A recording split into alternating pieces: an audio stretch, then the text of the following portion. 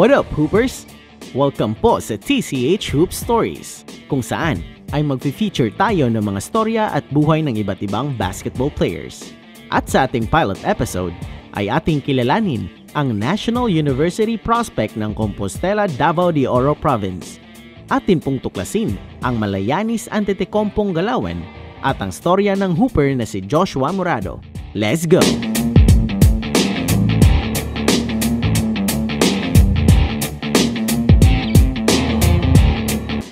What's up, Hoopers? Good day. Ako nga po pala si Joshua Morado, 20 years old, 5'10", from Compostela, Davao de Oro Province.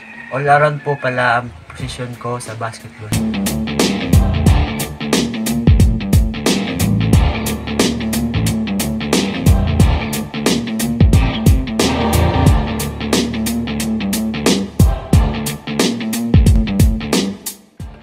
Nag-umpisa po ako mag-basketball noong labing apat na taong gulang ako. Dahil nainganyo ako sa paglalaro at dahil din sa aking ama. Ang idol ko po sa NBA ay si Kobe Bryant dahil ang galing niya sa lahat ng posisyon na binibigay sa kanya at may puso sa laro. Sa PBA naman ay si Cabrio Nabueva dahil hindi siya matatakot makipagsabayan sa malalakas at matatangkad niyang kalaban.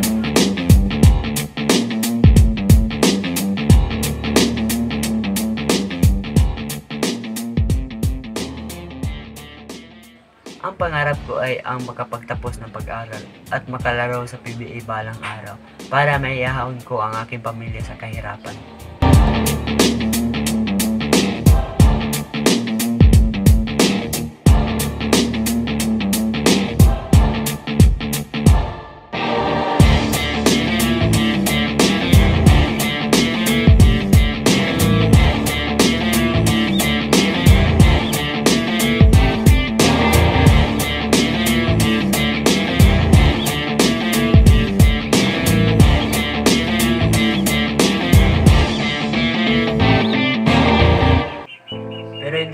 Naging madali ang umpisa ko sa basketball. Naranasan ko ang pambubulin ng aking mga kasamahan dahil hindi raw i-improve yung laro ko.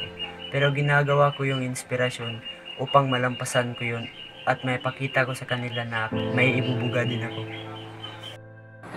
Naging mahirap rin sa akin yung namatay ang aking ina at iniwan kami ng aking ama upang makatrabaho sa ibang probinsya at may pakain sa amin.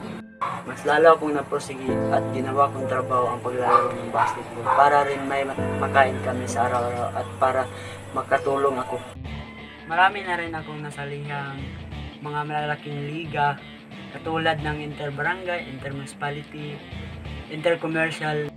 Noong 2019, isa ako sa nairepresenta ng Compostela sa Intermunicipality Basketball ng Davao de Oro.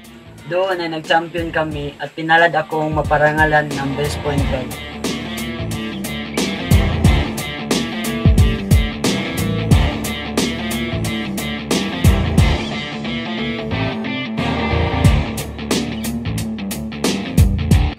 At nitong taon ngang 2020, nabigyan ako ng chance na makapasok sa National University Sinabihan ako ng aking kaibigan tungkol sa malaking tryout ng Indio Bulldogs.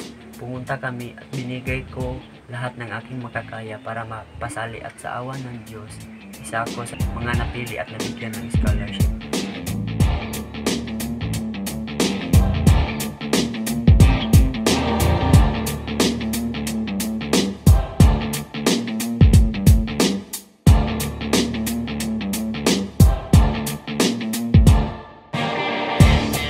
Bihira lamang ang mabigyan ng ganong tsansa, kaya hindi ko may paliwanag ang saya ng ako ay napili. Marami rin ang humanga sa akin, kaya nakaka-proud sa sarili. Kaya gagawin ko ang lahat para mabigyan ng malaking karangalan ang aming lugar. Pagkatapos na nitong school year ay pupunta na ako ng Manila. Pero dahil sitwasyon ngayon, hindi mo na ito matutuloy. Bilang basketball player, kailangan ko pang i-improve ang aking shooting at depensa. Kahit may quarantine tuwing umaga, nag-workout ako. Pagkatapos ng curfew, nagja-jogging din ako. Tapos dito sa bakuran namin, may nilagay ang aking ama na maliit na ring Kaya dito ako sa bahay nagpa-practice ng aking shooting at sinasamahan ako ng aking ama at tinuturuan niya ako ng mga basics.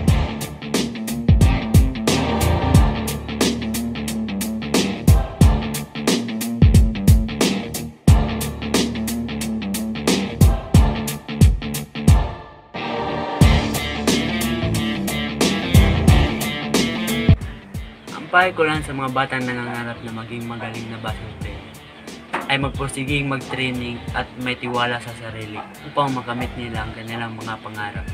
Dapat din mag-aral ng mabuti dahil hindi habang buhay makakapaglaro ng basketball. Ang inspirasyon ko sa aking buhay ang aking pamilya at ang Panginoon. At ang gusto kong pasalamatan ay aking ama, ate, coaches at kaibigan. At lalo na sa aking girlfriend. Dahil nandyan sila upang suportahan ako sa lahat ng bagay.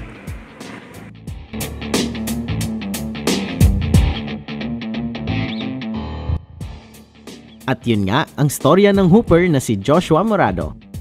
All the best at sana maabot niya ang kanyang mga pangarap. Kung bago pa lang kayo sa channel na to, please do subscribe.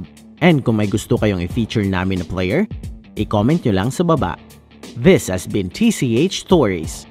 Thank you for watching.